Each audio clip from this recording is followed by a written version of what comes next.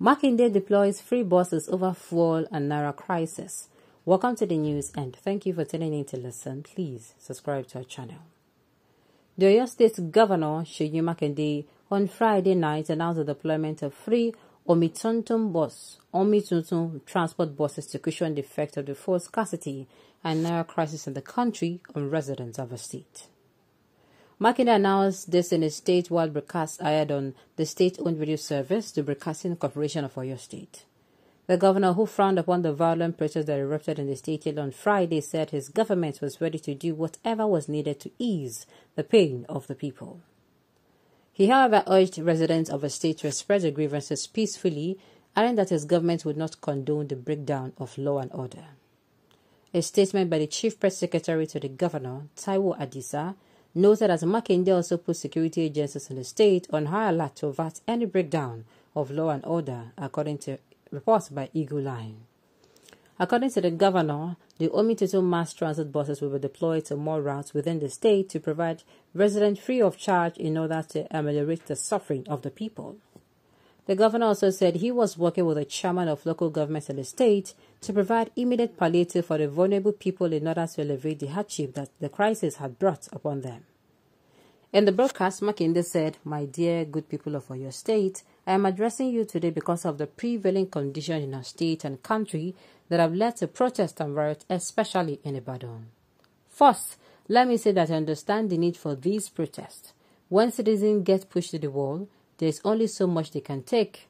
The continuous fuel, fuel scarcity and the scarcity of the naira have led to slow economic activities. I must repeat, I understand and I feel your pain. I have always maintained that peaceful protests are fine even when things are not going how we want them to go. We have a right and even the responsibility to protest. Let me also state that while we are protesting, we must remember how easily a peaceful protest can turn violent and lead to loss of lives and property. The violence that erupted in parts of Ibadan today, Friday, is condemnable and will not be tolerated. In response to this, I have suspended all campaign activities forthwith. I have also met with the heads of security agencies in Oyo State to restore calm and maintain the peace in our dear state. Violence uh, cannot and will not solve our problems. It only creates new ones. We have another opportunity in a few weeks to move this country in a new generation move your, use your PVC, not violence.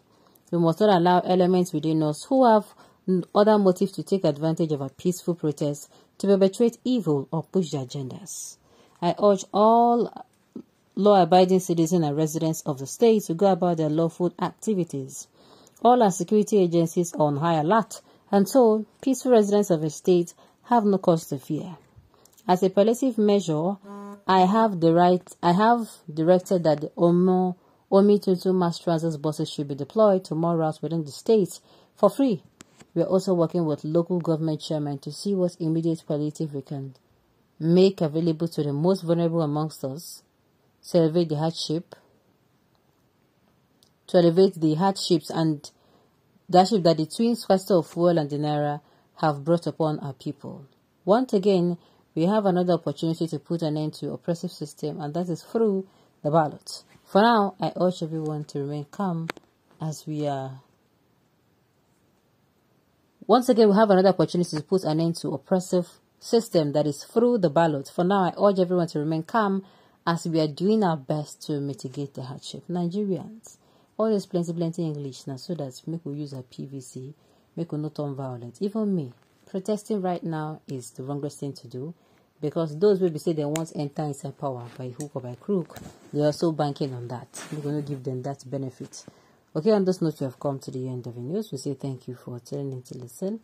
Until i come your way next time enjoy the rest of your day